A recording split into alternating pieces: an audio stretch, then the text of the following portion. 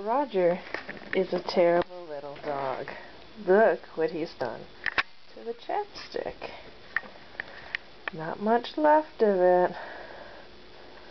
Oh, he knows, Roger. What'd you do? What'd you do, Roger? Oh, did you eat this chapstick? I don't think you're supposed to eat the chapstick apart. What'd you do? What'd you do? Roger, were you a bad boy? Were you a bad boy? Ridiculous dog.